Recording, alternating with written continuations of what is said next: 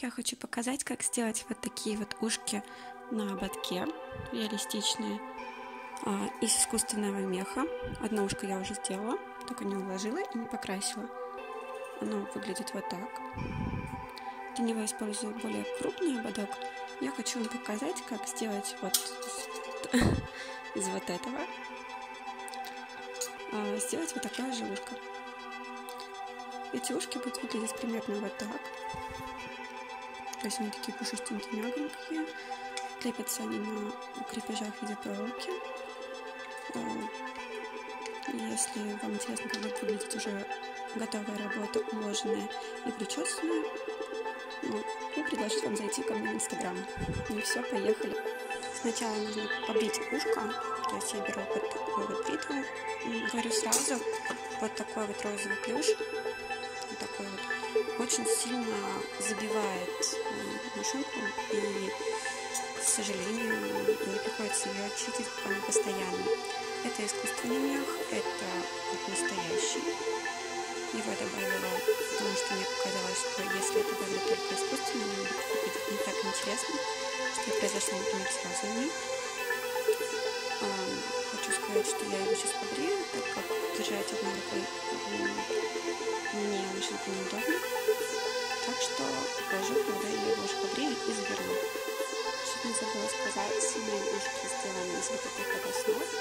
Эти сделаны из вот этой большой основы. Маленькие сделаны из вот этой маленькой. Что я делаю? Я вырезаю на полотне, например, вот таком. На полотне вот такой вот формушка. Вырезаю ее и в розовом варианте, вот в таком, и в сером. После этого я проклеиваю их по этим линиям, то есть как я сделала здесь, только проклеила горячим клеем. И все это зафиксировала вот на такую вот проволоку. Вот на такую проволоку. Это алюминиевая проволока. Трется она вот такой. По-моему, стоила она рублей 200. Не могу сказать точно. Вот. И приклеила я ее вот таким вот образом. Для чего? Чтобы завернуть по вот этой линии. Вот, чтобы вот так вот красиво завернуть. Прикол в том, что когда она будет заворачиваться, она примет нужную форму. То есть вот такую. Это у меня ушки рыси.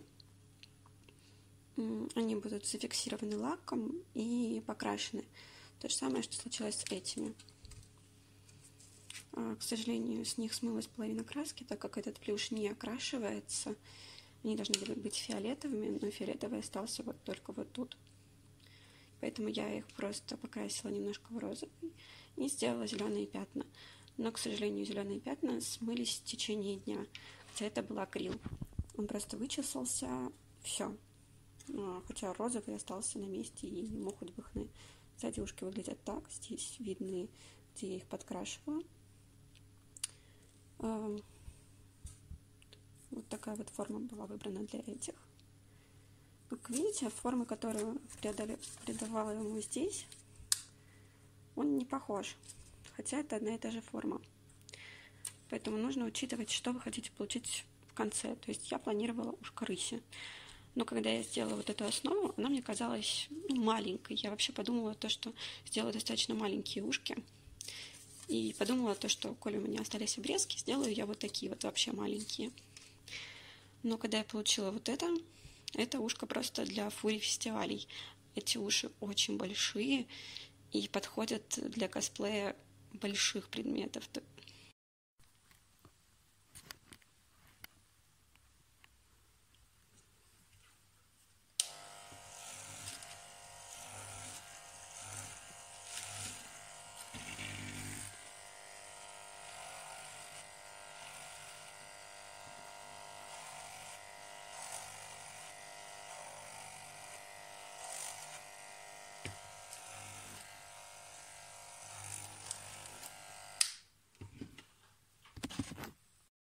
Итак, вот такое вот ушко у меня получилось после стрижки. Я его достаточно коротко подстригла. Из-за этого мне пришлось это покороче подстричь. наверное, я его подстригу еще раз. Но если вы будете делать такие ушки, то обязательно чистите машинку, потому что забивается она ну, очень сильно, и чтобы ее до конца не убить, чистите ее, заботьтесь о ней. Это не моя машинка, и мне придется за ней более серьезно заботиться, иначе мне будет просто стыдно. Кстати, э, если вы хотите такие же ушки, чтобы сделала их я вам, например, и вы в Старопольском крае, и у вас при этом есть воротник, либо просто искусственный верх, который вам не нужен, то я с радостью вам их сделаю чисто за то, что вы мне дадите возможность сделать другие ушки из подобного. Со мной можно связаться, к примеру, в ВК или в Инстаграме. Я всем отвечаю. Вот. Сейчас я буду приклеивать сюда. Вот такой хвост песца у меня есть. Я отрежу кусочек и приклею его на эту часть. Видите, ушки сейчас немножко разные, потому что это надо посильнее погнуть, пожмякать вот так, поднять на сторону, но этим я займусь чуть попозже. Сейчас мне нужно все приклеить. Приступим. Итак, я отрезаю маленький такой кусочек. Это очень плотный мех. Это, по-моему, хвост песца. Я его сейчас отрежу и использую его точно так же. Отрезаю ее канцелярским ножом. потому что ножницами я боюсь повредить мех. Канцелярский нож меньше всего травмирует. Так, у меня есть такая маленькая штучка. Я ее нужно...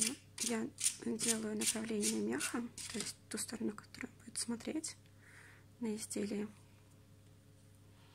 И смотрю, как оно сюда подходит нужно ли больше, либо меньше. И сравниваю. Здесь достаточно мало, как мне кажется. Мне кажется, что нужно добавить. Отрезать тонкую полосочку, либо отрезать новый треугольничек. Чтобы все подошло. Я, пожалуй, отрежу треугольничек, а этот использую для других работ.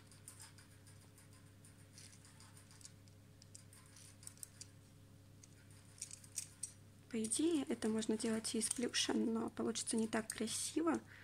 А, я уже показывала розовые, вот они сделаны из плюша. Минус плюша, что он очень сильно забивается в машинке. И банально ее можно выбрасывать, если вы не умеете ее чистить.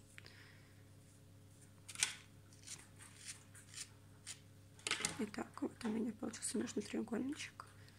Он мне подходит скибаю ушко и хорошо прочесываю. Теперь я загинаю ушко э, как по образцу. То есть вот так могу наложить, посмотреть, как мне правильно загнуть.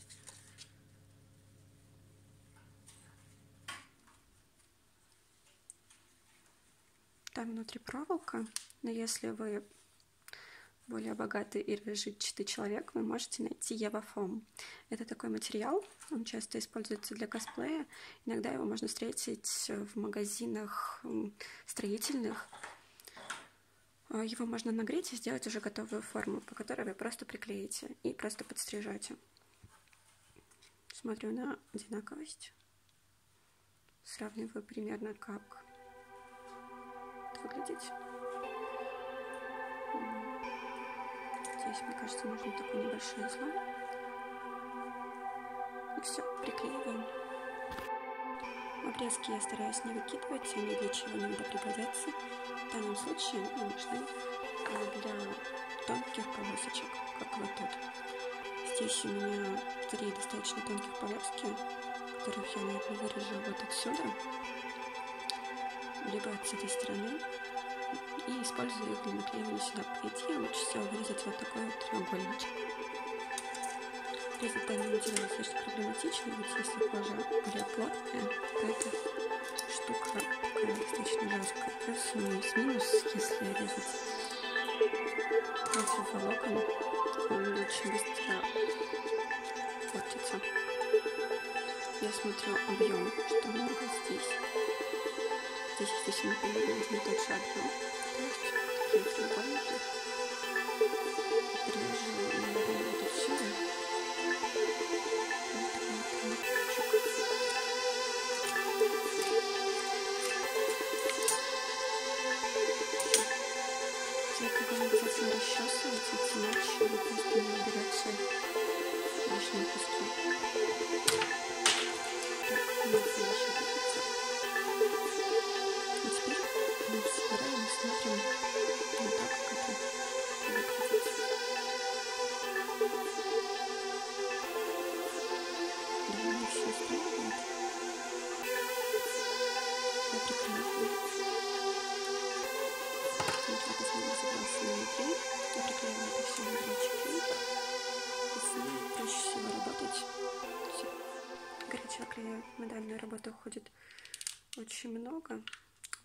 Не очень правильно сделала.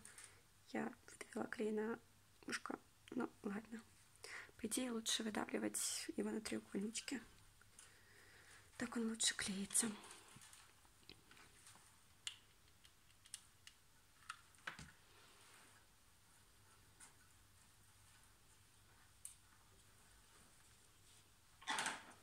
Так, ну, последний треугольничек. По центру. Да-да, вот и все. Ушки готовы. Осталось их только покрасить. И, по сути, их можно носить. Но сейчас я еще кое-что сделаю. Я сейчас сделаю крепление, то же самое, как вот здесь, чтобы удобно прикрутить ушко к ободку. У меня нет плотного металлического ободка, поэтому я использую этот чисто показательно, чтобы объяснить, что нужно сделать. Я вырезаю вот такую штуку. И туда, куда можно втиснуться. Желательно это сделать посерединке. Я нашла идеальное место.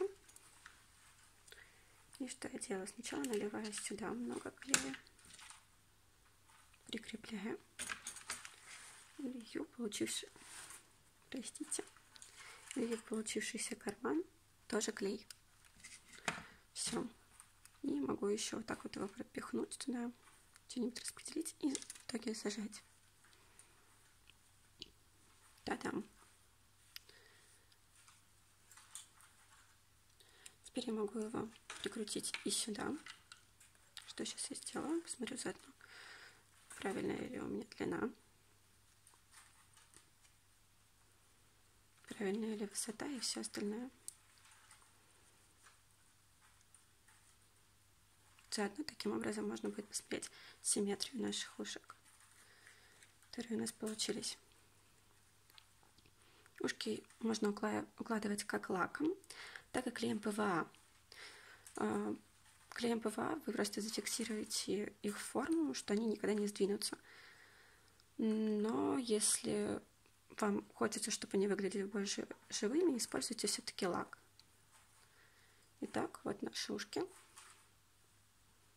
Они очень реалистичные, очень мягкие.